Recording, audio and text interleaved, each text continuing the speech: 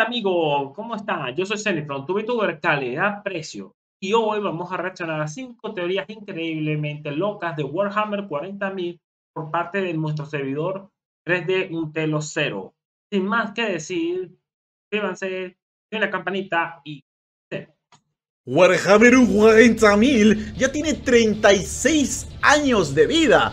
Puede votar, tomar todo el alcohol que quiera y apreciar el jazz improvisado. Es hora ya de Warhammer, es hora ya de Warhammer. Vamos, que ya tiene su tiempo entre nosotros. Por lo tanto, lleva acumulado una enorme cantidad de lore, incontables temas de cada raza, cada planeta, cada arma, cada momento importante de la galaxia. Ah. Sí que hicieron un gran trabajo al expandir este universo de todas las formas posibles. Un trabajo ah, que todavía sigue en movimiento, por cierto. E incluso ahora, mientras hablamos, nuevos libros, códex, series y pronto películas van siendo producidas mm. para hacer el adentrarse a este hobby incluso más difícil para los nuevos lo que se traduce en más trabajo para Moa. La cosa es tan confusa que encontrar un verdadero, auténtico lore master de Warhammer Wargavi es una tarea casi imposible. E incluso esa poca élite de sabios antiguos sin vida no podrán responderte varias de las preguntas más importantes.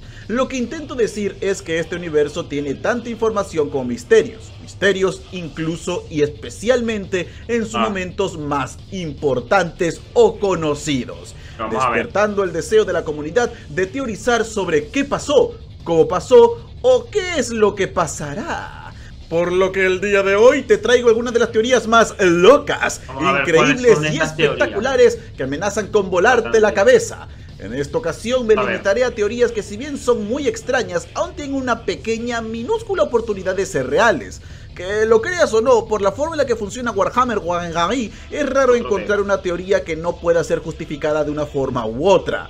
Pero en fin, no te preocupes, no habrán ah, cosas o locuras tales como que el emperador es latino y por eso abandonó a sus hijos o ese tipo de tonterías. Por lo que prepárate para las teorías más increíbles, locas, eh, no sé, no he decidido el título todavía, de Warhammer 40.000. Dale, baby. La primera es una de mis favoritas. Se llama Los orcos están haciendo exactamente lo que se les ordenó. Verás, como algunos recordarán, nuestros chicos fueron creados hace millones y millones de años por los llamados ancestrales, también llamados sapodios, para luchar contra los esqueletos egipcios espaciales llamados necrones. Claro, en ese momento los orcos eran conocidos como Krorks, medían como unos 12-16 metros cada uno y eran tan poderosos que se reían en la cara de los primarcas. Hasta aquí bien, pero una de las grandes preguntas fue...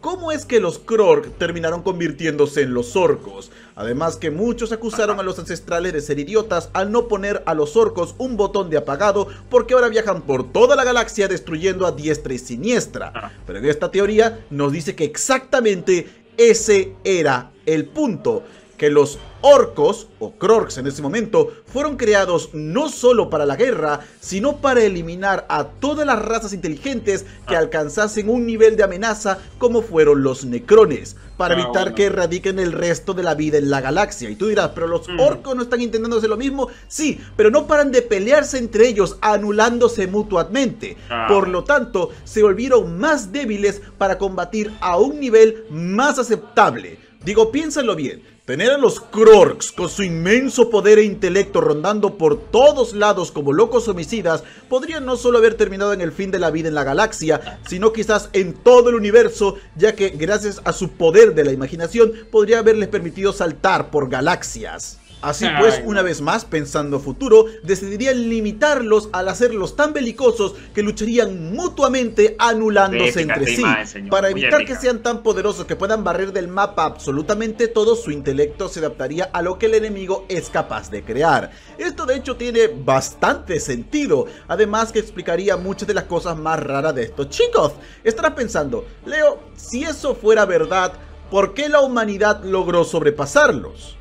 Ok, si bien nosotros logramos patear sus verdes traseros durante la era oscura de la tecnología, esta teoría nos dice que si hubiéramos durado más tiempo, los orcos hubieran evolucionado al nivel suficiente para enfrentarnos en un par de miles de años más. Digo sí, la Confederación Galáctica Humana pre-imperio duró como unos 10.000 años, pero a escala galáctica esto es nada, es un límite de tiempo bastante corto y por lo tanto los orcos pudieron haber estado en el proceso de adaptarse. Esto también explicaría por qué tiempo después aparecerían orcos extremadamente fuertes, como el ah, gran caudillo de Ulanor, el cual requirió que el propio emperador fuera a encargarse del asunto, y sin irnos más lejos, la bestia, que casi logra acabar con un primarca y el otro casi acaba con el imperio. Sin dejar de lado que ahora Gaskul Mac Uruk Traka también está reuniendo un ejército de super orcos los cuales se vuelven más y más fuertes constantemente. Irónicamente en el mismo momento en el que regresa un primarca, aparecen los tiránidos y se abre la gran grieta escupe demonios divide galaxias. Por lo que el ascenso de los orcos, además de la repentina aparición de un campeón que los lidere podría ser todo parte de su programación, una respuesta a las crecientes amenazas y cómo buscarían reducirlos a todos antes de que su desmadre termine quemando. Mira, yo creo que sería mejor, mira, unir a humanos, Tau, Eldar y Crones, ponerlos juntos y dejar que los orcos se encarguen de los demonios y de los, Tau. De los Tau no, de los tiranios. Ahí sería la paz duradera todo lo que conocemos, solo para terminar, luchar contra ellos mismos durante un par de cientos de miles de años, destruir su propio imperio orcoide y esperar la siguiente amenaza desde el polvo. Eso, eso de hecho tiene un montón de sentido. Tiene bastante sentido para mí, no sé ustedes. Siguiente, esta es una llamada Lorgar está muerto diagonal loco. Oh, sí, baby. Ahora sí comenzamos con lo fuerte. Lorgar Aurelian es uno de los primarcas más importantes de todo Warhammer. Estamos hablando del primer hereje. El hombre que iniciaría la guerra civil, empujando a sus hermanos a una guerra fratricida que terminaría con el fin del imperio, la muerte de la esperanza, la caída del emperador y 10.000 años de carnicería sin fin. Todo esto en una egoísta búsqueda de la verdad, debido a que fue el responsable de la casi muerte de su archenemigo y abrió las puertas para que la humanidad caiga ante los dioses oscuros, estos decidieron recompensar a Lorgar convirtiéndolo en el príncipe del caos más poderoso, el campeón del caos indivisible con la fuerza de los cuatro señores. Desde ese momento viajó a la disformidad, donde en un mundo que nombró santo, levantó una torre lleva encerrado en esta desde hace milenios, sí, 10.000 años dentro. En los últimos libros de los portadores de la palabra se dice que Lorgar ha estado meditando sobre la naturaleza de los dioses, aislándose de todo lo que pasó en la galaxia, seguros de que pronto volverá a caminar entre sus hijos para liderarlos a la batalla. O por lo menos eso creen y esperan sus hijos, pues realmente nadie ha hablado con él. Se suele mencionar que ya emergió y lidera a sus hijos, los portadores de la palabra, en una guerra santa para conquistar la galaxia. Pero nosotros no lo hemos visto ni ha sido mencionado directamente, solamente se suele decir se cree, se presume, se rumorea, etc. Esto nos lleva a despertar un sinfín de teorías sobre lo que podría estar haciendo realmente Lorgar en esa torre. Dios, creo que podríamos hacer todo un video debatiendo sobre qué diablos hace allí arriba, pero en mi opinión existen dos teorías que son increíblemente interesantes. El primero es que Lorgar está muerto y sus dos hombres de confianza, Corfairon y Erebus, están encubriéndolo para mantener el control de la legión. Uno de los relatos que a ustedes más les ha encantado es cuando el primarca, Corvus Corax, viaja a la disformidad y libera el 100% de su poder para cazar a Lorgar, convertido en un monstruo cuervo. Estos dos se enfrentan cara a cara y luchan. Lorgar termina tan brutalmente herido que tiene que refugiarse en la torre, escapando de su hermano mientras este jura venganza eterna. Ahora es ah, de aquí que surgen las dos teorías. La primera es que Corax de hecho logró herir de manera letal a su hermano. Mm, Tomando en cuenta que ahora era una criatura disforme, no sería descabellado pensar que sus golpes no solo afectan la carne, sino el alma de su enemigo. Algo que es de hecho letal para un demonio. Sin dejar de lado que poco después de este acontecimiento comenzó una guerra civil entre los propios portadores de la palabra, liderados por Corfaeron y Erebus matándose mutuamente buscando el puesto de la voz del primarca.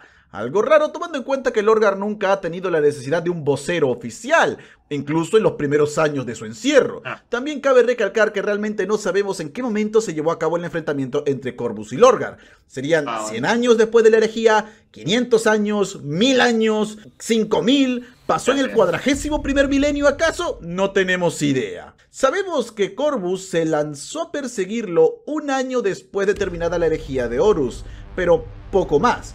Aún así, si eso fue algo que pasó temprano, digamos unos 100 años o 500 años después de la caída, se enfrentaron y este resultó mm. mortalmente herido, explicaría por qué lleva 10.000 años ahí arriba estaría muerto, su cadáver pudriéndose y sus dos consejeros lucharían para ver quién se hace pasar por él, porque si alguien sabe la verdad, deben ser esos dos. Esto se vincularía con la nueva trama del Starchild, el niño dorado que regresaría para guiar a la humanidad, diciendo que si bien la forma física y espiritual del Orgar fue de vida, este, sin realmente más alternativa, decidiría volver en una nueva forma física, lo que nosotros conocemos como el Starchild, gracias a su increíble control de la disformidad, que si sabemos, él poseía. Por eso los portadores de la palabra lo estarían buscando como locos, para de esa manera volver a tener a su primarca en sus filas. La segunda vamos a ver la teoría nos dice que Lorgar sí sobrevivió al ataque de Corvus, pero este lo hizo recapacitar, buscando información de lo que pasó con el imperio luego de su caída y arrepintiéndose por lo que había provocado. Lorgar habría enloquecido al contemplar los horrores que su deseo de conocimiento habían causado, la caída de sus hermanos y la condenación de la raza humana a una eternidad de barbarie sin ah, fin, donde ni el caos ni ellos ganarán. Solo es masacre por masacre. Lorgar se volvería loco por la verdad primordial que descubrió y lo que había pagado por ella. Así pues, Corfaeron y Erebus lo mantendrían encerrado en su torre, comenzando una guerra no solo para silenciar al otro, también para quedar como la nueva voz de Lorgar, aprovechando que nadie sabe lo que está pasando todavía. Con esta teoría, se diría que Lorgar, totalmente enloquecido y triste a más no poder, utilizaría sus habilidades disformes para escapar de la torre, reformándose en un nuevo cuerpo donde podría ayudar al imperio con un borrón y cuenta nueva, es decir, ah, el Starchild. Corfairon y Erebus lo buscarían para evitar que la Legión sepa la ah. verdad de su primarca, pues esto lo seguirían en su nueva verdad. Si esta teoría fuera cierta, entonces estaríamos viendo el retorno de Lorgar intentar sanar algo del daño que ha causado. Debes admitir, interesante es por lo menos un rato. Casi tanto como la siguiente. El emperador es absoluto. Ok, ok, ok, ok. Para entender esto debemos recordar un poco del pasado del emperador, pues no siempre fue la radiante y dorada figura que nosotros conocemos. Según se cree, pues su pasado no está del todo claro, él nació como el psíquico más poderoso de la Tierra, el más fuerte entre los miembros de nuestra especie. Pero no alcanzaría su rango como el ser más poderoso de la galaxia hasta mucho tiempo después, durante la era oscura de la tecnología. Sabemos que él fue a un planeta llamado Molech. En este existía un portal hacia la disformidad, uno especial. El emperador ingresó a este portal como un hombre y emergió de él como un dios. El resto es historia que ya te sabes. Esta parte está confirmada. Sabemos que ese viaje a Molech realmente sucedió. Lo que no sabemos es qué diablos pasó allí dentro para que el emperador consiguiera tantísimo poder. Ah, Esto también es un tema que fácilmente podría tener su propio video dedicado solo a lo que creemos sucedió. Algunos dicen que habló con los dioses del caos y llegaron a un acuerdo. Otros que él les robó su poder. Otros que buscó algo en la disformidad ajeno a los dioses. Pero para mí, la opción más interesante y la que definitivamente me voló la cabeza es que no buscó a ningún dios del caos o poder escondido, sino que dentro se encontró consigo mismo, ah, pero ya ascendido en el trono dorado y con el poder de un dios. Y sería él quien se compartió a sí mismo su ah, propia fuerza para convertirlo en su propio campeón. Eso también explicaría por qué el emperador no tiene ninguno de los aspectos de los dioses del caos. Ya sabes, casi siempre cuando alguien es bañado por la fuerza de esto, suele salirle cuernos, lengua larga y todo el resto, pero el emperador no. Es una luz dorada y radiante, la cual emana sabiduría y amor a todos quien lo vea. Ya sabes, su estética, su style. Hmm. Pero ok, ok, ok, ok. Lo sé. Leo, eso no tiene ningún maldito sentido. ¿Cómo diablos su yo futuro podría influir en su yo pasado de esa forma si él aún no asciende al trono dorado? Bueno, sé que suena raro, pero para responder esa pregunta debemos comprender un poco la naturaleza de los dioses y la disformidad. Recordemos que la disformidad es un universo aparte que no obedece las leyes de la física como la conocemos. El flujo del tiempo no tiene ninguna fuerza o influencia en este lugar. Esto se ha comprobado muchas veces con diferentes personajes viajando en el tiempo utilizando la disformidad como medio. Algunos de ellos ni siquiera eran psíquicos. Por ejemplo, famoso es el caso de un grupo de hermanas del silencio las cuales fueron enviadas a rastrear una anomalía. Cuando la encontraron resulta que esta anomalía era un mensaje enviada del futuro por una de sus integrantes, la cual les estaba advirtiendo de un gran peligro, aunque ellas al darse cuenta de que, oh, herejía, le cortaron la cabeza a su yo pasado, por lo que su yo futuro ya no podía existir y no se envió el mensaje. Ah. Gracias, hermanas del silencio. Pero en fin, Sí, si una hermana del silencio, que absolutamente nada tiene que ver con poderes psíquicos, logró hacer eso, imagínate lo que podría ser un verdadero psíquico todopoderoso como el emperador, o más aún, los dioses del caos. Porque, oh sí, baby, esto se hace más extremo con ellos. Cada dios del caos es la representación de un concepto. Por lo tanto, en el mero instante que la primera raza inteligente desarrolló emociones, estas criaturas se manifestaron. Esos conceptos nacieron. Los dioses del caos afirman, y realmente no existe ninguna duda sobre esto, que ellos realmente siempre estuvieron allí, en mayor o menor medida, en diferentes puntos de la historia, ah, pero siempre presente en la disformidad. El caso más destacado es el de Slanesh, el más joven de los dioses del caos y del que incluso tenemos el día exacto de su nacimiento. Pero para los dioses del caos, Slanesh siempre existió, siempre estuvo allí. Incluso antes de, entre comillas, nacer, ya interactuaba con ellos, porque el mero hecho de estar destinado a existir ya la había manifestado. Ahora pensarás, ya, pero esto se aplica únicamente a los dioses del caos criaturas que nacieron en la disformidad, que se formaron de, esa, de una forma completamente distinta, no el emperador. Aunque ya es tan poderoso como un dios, no creo que sea lo mismo, ¿verdad? Pues no estés tan seguro. Durante la herejía de Horus, mientras el maestro de la humanidad vivía y respiraba, aún muchos años antes del asedio de Terra, existió una mujer llamada Eufrati Keller, la cual es conocida como la primera santa imperial, una mujer que era capaz de expulsar a los demonios con nada más que la fe hacia el emperador. Ella no era psíquica, no era una guerrera, solo una rememoradora, una simple humana pero debido a una experiencia religiosa, su amor hacia el emperador, su fe era tan grande que manifestaba la luz dorada del mismo para defenderse. Incluso afirmaba recibir mensajes del propio emperador, siendo ella quien le dio la profecía a Sigismund, el paladín del emperador, para que se mantuviera al lado de Rogaldor y de esta forma salvarle la vida a su primarca. Ah. ¿Cómo es que era ella capaz de utilizar los poderes del emperador si el emperador aún ni había ascendido al trono dorado? Sin poderes psíquicos ni nada, solo usando la fuerza de la voluntad y la fe. ¿Cómo? Pues bien, esta sería una prueba de que el poder del emperador en la actualidad es tan vasto, tan grande, que puede atravesar las barreras del tiempo, alcanzando a todos quienes tienen fe en su figura a lo largo de la historia. Además, los elementos se repiten, luz sagrada, algo que ningún dios del caos representa. Por lo tanto, ¿qué tal si al entrar al portal en Molech, el emperador logró superar la distancia marcada por el tiempo y el espacio para encontrarse consigo mismo, pero en el futuro? Ah, un yo que no solo le dio el poder y conocimiento para conquistar las estrellas, sino que lo guiaría para terminar ascendiendo al trono dorado, cumpliendo el destino de volverse un dios, algo necesario para completar su gran plan, sea cual sea este. ¿Por qué no le dijo a su yo del pasado sobre la herejía y demás? Pues fácil, porque si lo hacía, entonces el emperador no terminaría en el trono dorado y conseguiría el poder para hacer lo que sea que se supone que va a hacer ahora. Quizás vencer de una vez y para siempre los dioses del caos. Mentira, el plan del emperador es ir a comprar en el Oxxo en el fin de semana. Así de simple, señor. Así de simple. Ir al Oxxo a comprar el fin de semana conquistar la galaxia de forma definitiva, o quién sabrá, lo cual nos lleva a la siguiente teoría. El emperador es un demonio.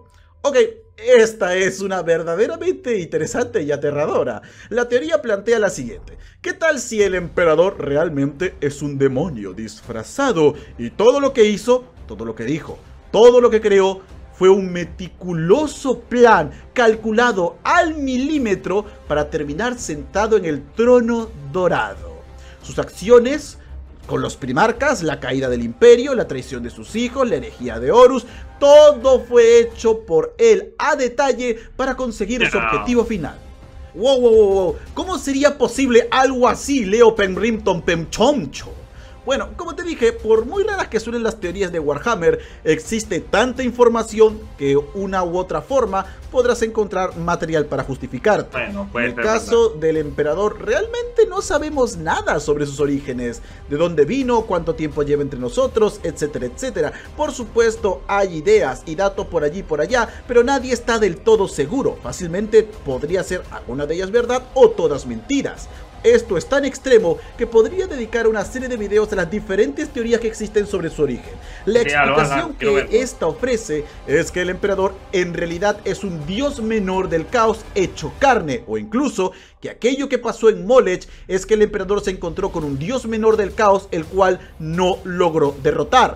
Este tomó posesión de su cuerpo y de aquella forma consiguió el vasto poder que vemos en la actualidad. Luego procedió a ejecutar toda la caída del hombre con suma eficiencia. De esta manera, no solo tendría a un imperio, la raza más psíquicamente prometedora, adorándolo constantemente, ah. llenándolo de poder, también serían sacrificados para él mil psíquicos cada día. Creo que ahora ascendió a diez mil psíquicos cada día. Un boost enorme de energía diaria por diez mil años. Mm. El trono dorado no sería un sistema de soporte vital per se, sino una máquina creadioses, alimentada constantemente con el poder de la humanidad. Los primarcas solo fueron un medio para este fin. Realmente no los amaba, pues su objetivo ya se cumplió.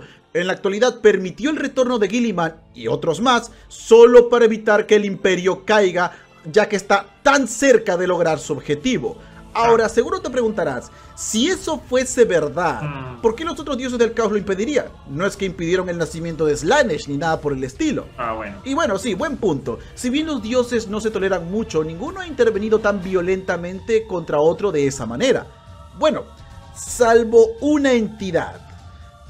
Verán, esto es del viejo lore y hasta el día de hoy no estamos del todo seguros si sigue siendo canon o no, pero antaño se hablaba de un quinto dios del caos el dios Malal o Malice, el antidios del caos. Este era un ser de destrucción absoluta, buscando activamente acabar, pero para siempre con sus hermanos, con los demonios y con todo en general.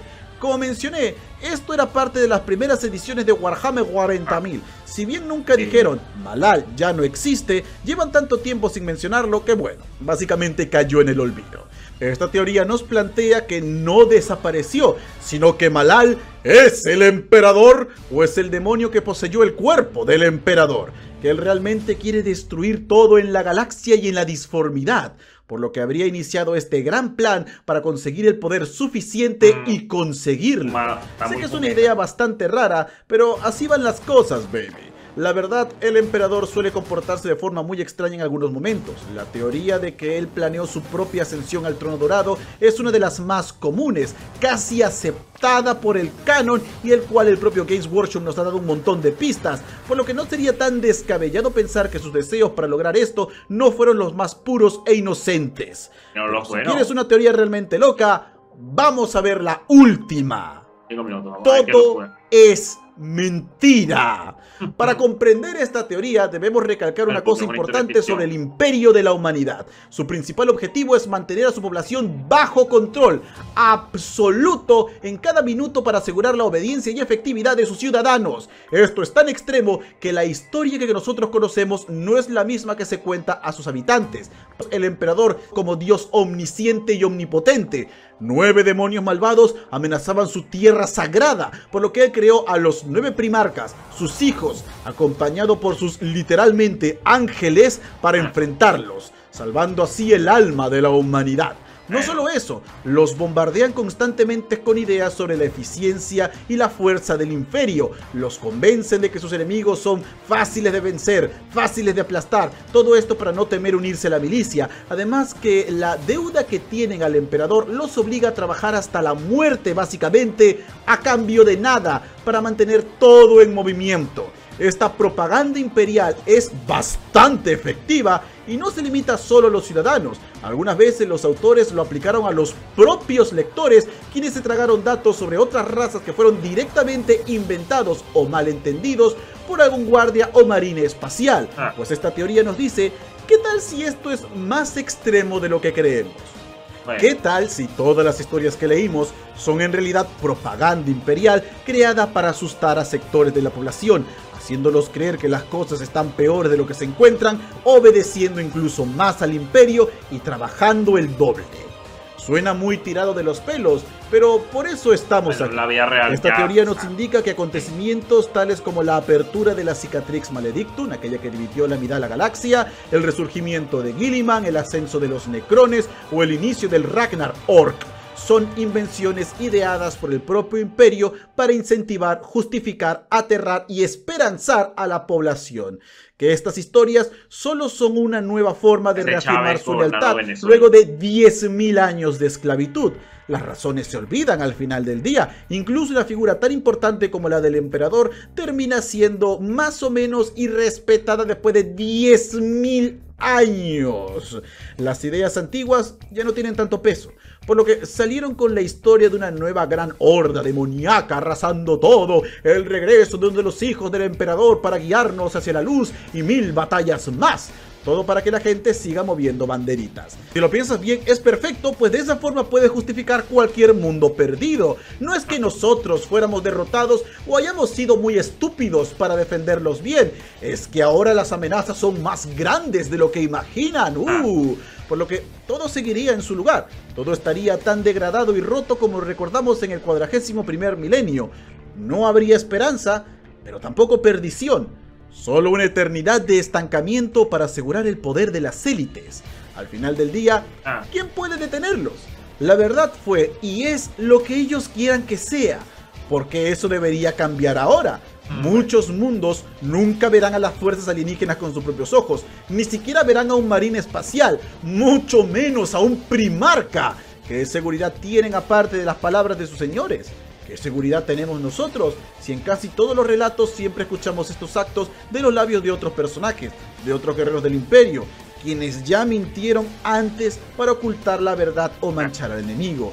¿Qué nos asegura que no estamos siendo engañados una vez más y que solo la eterna podredumbre es la única constante. Ok, esta fue una fuerte, ¿verdad?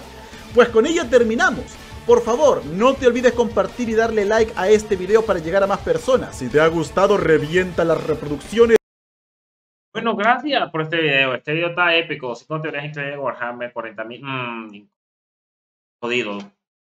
Dios mío, está buenísimo, señor. Que reacciona más seguido este canal. Bueno, esto es todo por hoy. Gracias por vernos.